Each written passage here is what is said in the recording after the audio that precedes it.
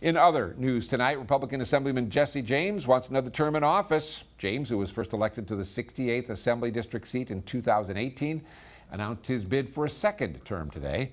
This is video of him from an interview we did earlier this year.